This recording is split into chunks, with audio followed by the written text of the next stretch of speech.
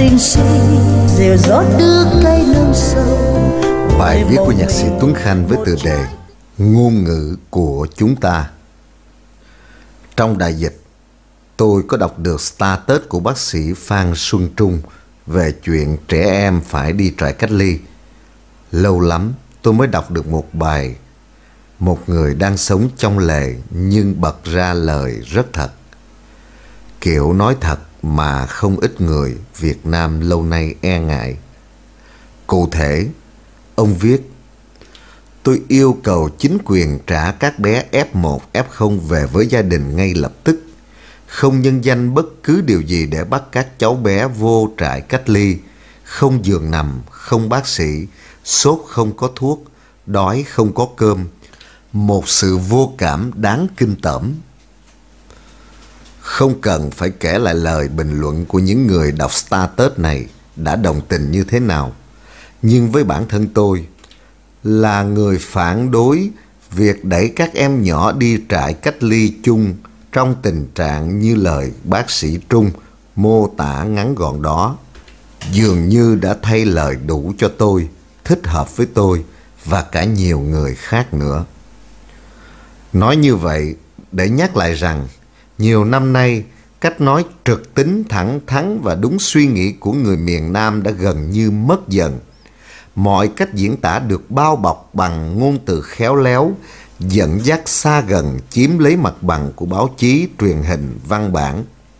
Ngay cả ngôn ngữ xã hội của người dân nói với nhau, lắm lúc khi có mối giao tiếp thứ ba có tình trạng dè dặt, cố bày tỏ phần suy nghĩ của mình là trong sáng, vô tội.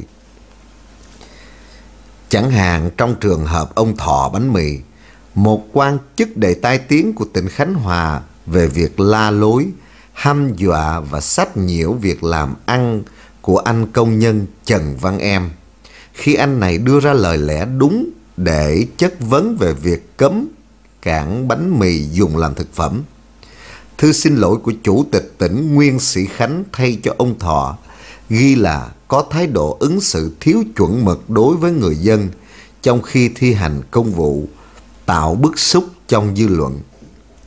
Đơn giản, với một người dân bình thường như tôi, ngôn ngữ như vậy là bao biện.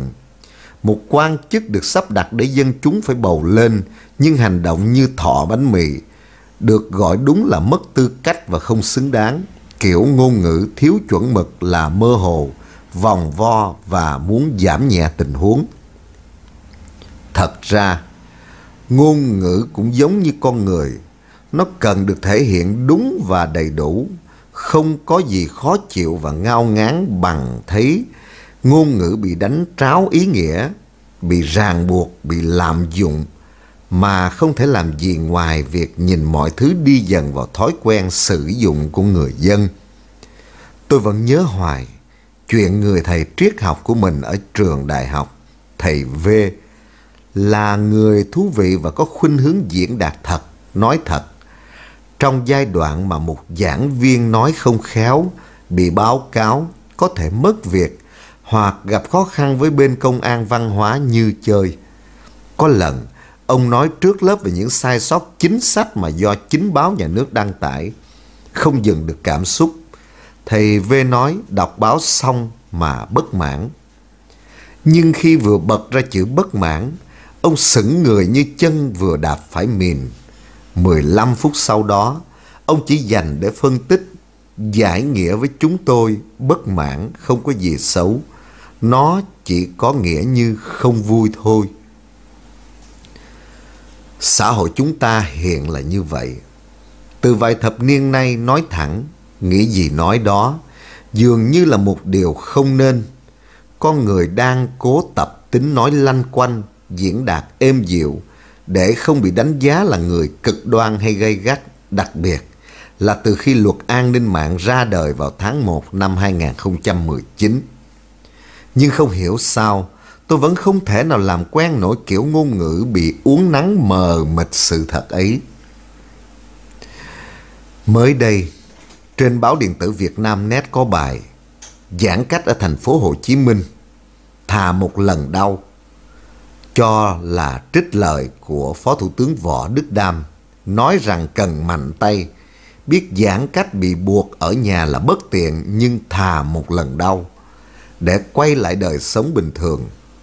Không biết ông Đam có nói đúng vậy không, nhưng thà một lần đau là một suy nghĩ sai, diễn đạt lầm.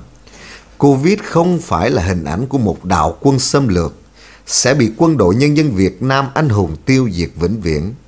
Covid vẫn sẽ đến và ở cùng tất cả mọi con người trên thế giới này. Có thể là mãi mãi và đòi hỏi những người lãnh đạo thông minh có khả năng kiểm soát bằng khoa học. Trên mạng xã hội có chia sẻ thư ngõ của ông Đoàn Ngọc Hải, cựu quan chức ở thành phố, nói về chuyện ông chứng kiến một gia đình ở quận 3 có người mắc Covid mà chết, nhưng không gọi được cơ quan y tế nào đến giúp. Ông viết, một điều tôi rất trăn trở là các cơ quan của phường, quận không một ai xuống xét nghiệm để đưa đi bệnh viện từ lúc sáng nay, mặc dù họ đã kêu gào trong điện thoại trước mặt tôi. Chữ trăn trở ở đây nghe như không mô tả được sự cấp bách và nỗi đau hiện thực mà gia đình này phải chịu. Đây cũng là một ví dụ rõ về việc ngôn ngữ giao tiếp xã hội với người dùng có thói quen làm mềm đi để mang tính xây dựng hơn. Xây dựng trong ngoặc kép Dĩ nhiên, ông Hải không có lỗi gì trong việc trăn trở. Nhưng đó cũng là lý do cho thấy vì sao mạng xã hội với những blogger, nhân sĩ, trí thức có ngôn ngữ trực quan hơn như Dương Quốc Chính, Châu Đoàn, Phạm Minh Vũ, Phan Xuân Trung lại được nhiều người tìm đọc bởi khi được thấy sự thẳng thắn và mô tả đúng, khi đó người đọc mới thông cảm thấy mình bị bùa phép với hiện thực, mới thật sự thấy mình là con người với con người. Báo chí mới đây cũng đưa tin ông Bí thư Nguyễn Văn Nên nói với người dân Sài Gòn rằng chúng ta xin nhân dân lượng thứ vì còn bộ máy quản trị ở Sài Gòn lúng túng. Nhưng rõ ràng, người Sài Gòn đang trông chờ ở ông Nên và hệ thống cầm quyền nhiều hơn là ngôn ngữ xin lượng thứ về sự lúng túng. Trong quyết tâm của hệ thống chính trị để chấm dứt dịch bệnh, ai là dân cũng thấy rằng cần có giải pháp quyết liệt từ phía chính quyền về an sinh, là nghĩ đến miếng ăn là tiền điện, tiền xăng của 10 triệu dân thành phố trong cuộc sống ngặt nghèo lúc này. Việc chấp nhận cho người dân tự cứu nhau, thiếu hẳn sự trợ giúp bao phủ của chính quyền, được coi là đẩy và phó mặc cái khó cho người dân. Trong ngôn ngữ Việt Nam, điều đó không gọi là lúng túng, mà sách vở từ xưa đến nay vẫn gọi đúng là thất bại.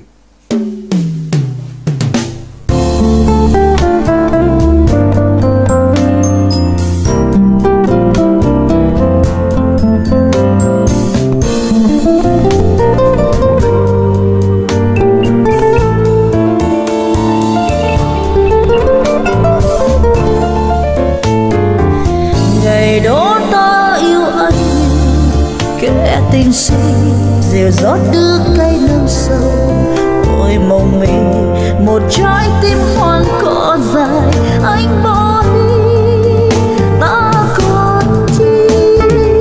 Chiều xuống bên sông ta ngồi, bao hình anh tìm đến cho ta rồi.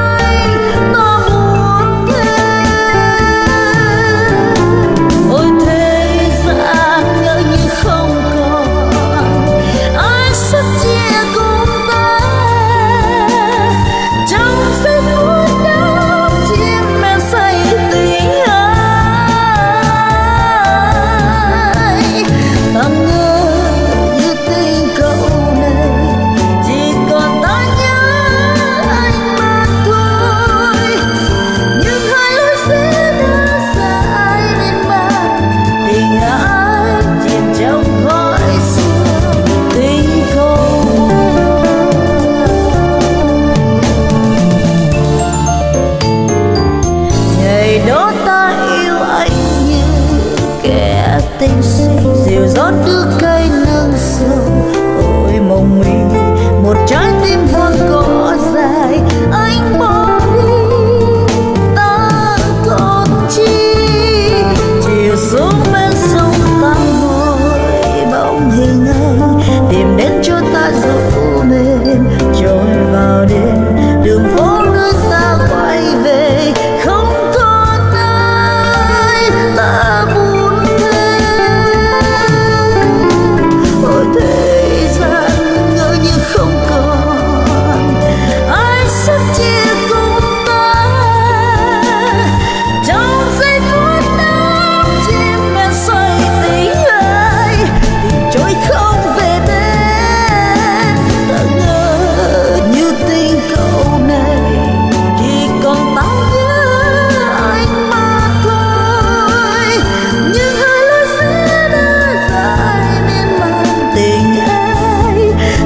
chão